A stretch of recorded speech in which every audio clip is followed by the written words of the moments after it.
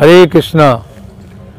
আপনারা আজকে আমাকে জিজ্ঞাসা করছেন যে, প্রভু, মোক্ষদে একাদশ সম্বন্ধে বলুন। হ্যাঁ?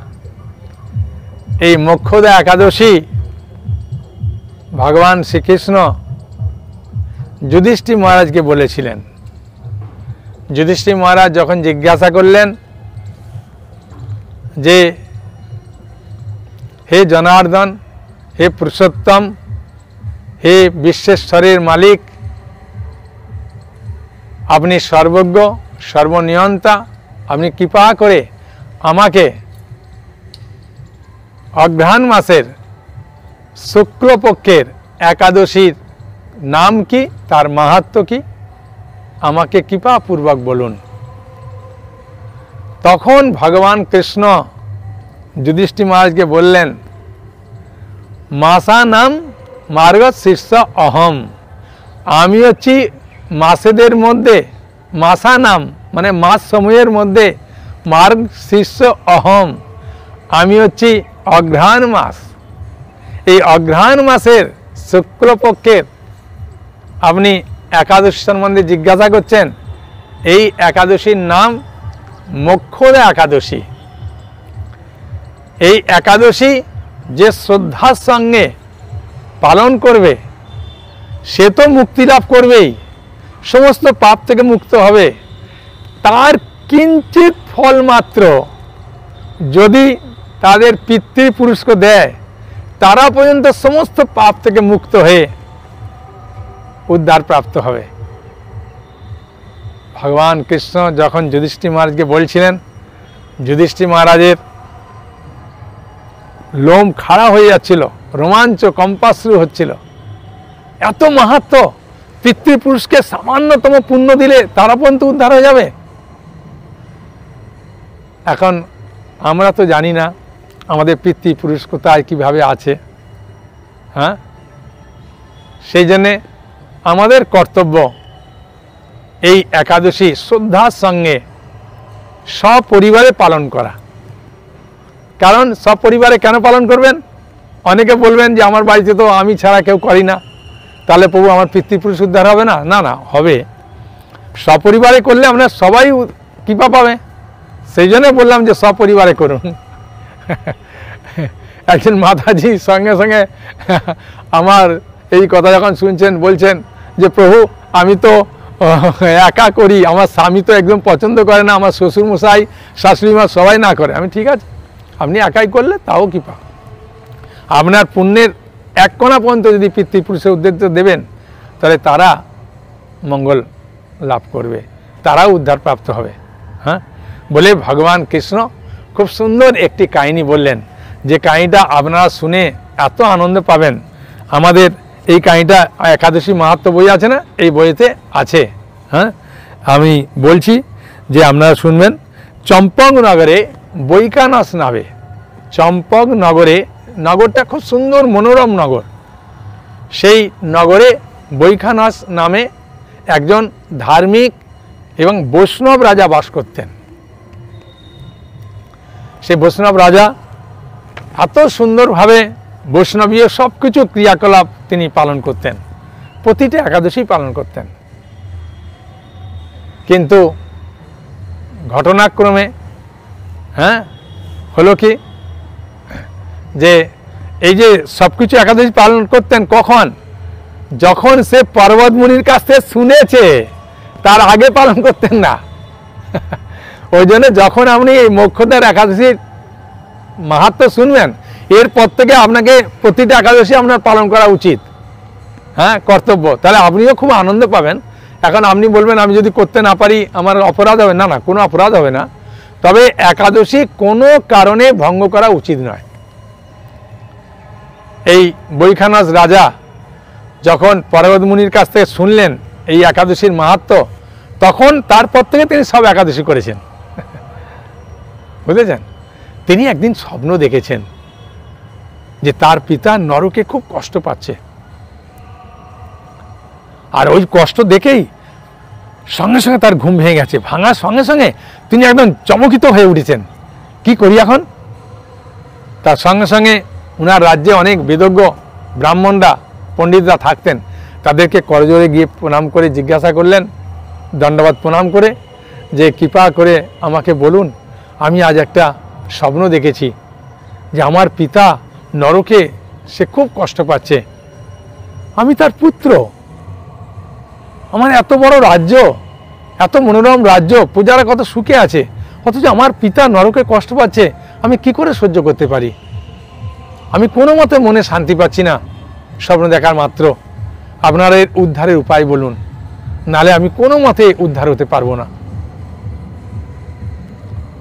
তখন বেদজ্ঞ ব্রাহ্মণরা বললেন, আপনি কত ভাগ্যবান, চিন্তা করেছেন, আপনার রাজ্যেই পর্বতমুনির আশ্রম। চলুন, আমরা সবাই পর্বতমুনির কাছে গিয়ে দণ্ডবাদ প্রণাম করে করজোরে প্রার্থনা করে, তার কাছে আপনি আপনার এই স্বপ্নের কথা ব্যক্ত করবেন। তখন পর্বতমুনির কাছে রাজা এবং মন্ত্রী সহ, মন্ত্রী বলতে বেদজ্ঞ ব্রাহ্মণরা, তারা সমেত গিয়ে দণ্ডবাদ প্রণাম করে করজোরে শ্রদ্ধার সঙ্গে জিজ্ঞাসা করলেন যে, মুনিবর আমি একটি স্বপ্ন দেখেছিলাম গত রাত্রে। আমার পিতা নরকে খুব কষ্ট পাচ্ছে। কিন্তু আমার পিতা কি এমন পাপ করেছিল, যার ফলে আমার বাবা, পিতা এত কষ্ট পাচ্ছে? আপনি কৃপা করে আমি তার পুত্র। যদি পিতাকে উদ্ধার করতে না পারে, ভাগবতমে আছে, সে পুত্র নয়, সে মূত্রের তুল্য। তাই আপনি কৃপা করে আমার পিতাকে উদ্ধারের উপায় বলে দেন। আমি তার প্রকৃত সন্তান হতে চাই। তখন পার্বতীমুনি বললেন, তোমার বাবা যখন মনুষ্য শরীর লাভ করেছিল, সে এত কামাচারী ছিল, সে কথা তোমাকে আমি বলতে পারব না। বললে তুমি দুঃখ পাবে। সেই পাপের ফলে সে নরক যন্ত্রণা ভোগ করছে। কিন্তু তুমি যদি অঘ্রাণ মাসের শুক্লপক্ষের মোক্ষদা একাদশী পালন করবে তাহলে তোমার বাবা, তোমার সামান্যতম একটু পুণ্যের, ব্রতের যে পুণ্যের ফল যদি পায়, লাভ করতে পারে, সঙ্গে সঙ্গে সমস্ত পাপ থেকে মুক্ত হয়ে সে ঊর্ধ্বগতি লাভ করবে, মুক্তি লাভ করবে। এই কথা শুনে ব্রাহ্মণগণ সহ রাজা মুনিবারকে দণ্ডবাদ প্রণাম করলেন, আশীর্বাদ করলেন যাতে সুন্দরভাবে মোক্ষদে একাদশী পালন করতে পারেন। তিনি এসে সকলকে অনুরোধ করেছিলেন মোক্ষদে একাদশী পালন করানোর জন্যে এবং নিজে সব পরিবারে মোক্ষদাসী পালন করলেন। পালন করার পরে ফল দেবে কি? ও কণামাত্র ফল আপনা থেকে ওর বাবা লাভ করে। সঙ্গে সঙ্গে উনি দেখতে পেলেন যে আমার বাবা স্বর্গে গমন করছেন, ঊর্ধ্বগতি লাভ করেছেন। ভগবান কৃষ্ণ এই কথা যখন যুধিষ্ঠি মহারাজকে বললেন যুধিষ্ঠি মহারাজ অত্যন্ত আনন্দিত হয়ে সেই কথা তার মা এবং অন্যান্য ভাইদের বলতে শুরু করলেন যে, মোক্ষদে একাদশী করলে আমাদের কি লাভ হবে? তাই আমি করে জোরে আপনাদের অনুরোধ করব, মোক্ষদা একাদশী পালন করুন। আর মোক্ষদা একাদশীর দিনেই ভগবান কৃষ্ণ কুরুক্ষেত্রের রণাঙ্গনে অর্জুনকে গীতার জ্ঞান দান করেছিলেন। ভগবান কৃষ্ণ বলছেন হ্যাঁ যে হে অর্জুন, আমি তোমাকে দিব্য কণ্ঠে ঘোষণা করছি এই কুরুক্ষেত্রের রণাঙ্গনে। যারা এই গীতার জ্ঞান শ্রবণ করে প্রচার করবে এবং অন্যজনকে বলবে, গীতা দান করবে গীতার মাহাত্ম অন্যজনকে বলবে, কীর্তন করবে, পাঠ করবে, তারা সবাই মোক্ষ লাভ করতে পারবে। সেই জন্যে মোক্ষ একাদশীর দিনেই এই গীতার জ্ঞান ভগবান কৃষ্ণ অর্জুনকে দিয়েছিলেন। এখন আপনি বলবেন, অর্জুনকে যে বলেছিলেন, কোথায় বলেছিলেন প্রভু? তার প্রমাণ কি? তাই আমি আপনাদেরকে গীতা খুলে একবার দেখিয়ে দেবো যে ভগবান কৃষ্ণ কখন কোথায় বলেছেন। গীতা আপনারা খুলুন। ভগবদ গীতা যথাযথ আপনাদের কাছে আছে না? আপনারা খুলুন। এই ভগবদ গীতা যথাযথ আপনারা আঠেরো অধ্যায়ের আটষট্টি নম্বর শ্লোকটি খুলুন। ভগবান স্পষ্ট করে কি বলছেন দেখুন। জ ইদং পরমম গুজ্জম। জ ইদম, যিনি এই পরমম, পরম গুজ্জম। গুজ্জম মানে গোপনীয়, একদম শিল পৌপাত প্রতিটা শব্দের অর্থ ভেঙে ভেঙে দিয়েছে। যাতে একবারে আপনার মা যদি ক্লাস টু, থ্রিও পড়ে থাকে, সেও পড়তে পারবে। আগেকার দিনে মায়েরা বেশি পড়ে না। এখনকার অনেক মেয়েদেরকে পড়ানো হচ্ছে। তা অনেকে হ্যাঁ ফোর পর্যন্ত পড়েছে, কেউ থ্রি পর্যন্ত পড়েছে এরকম।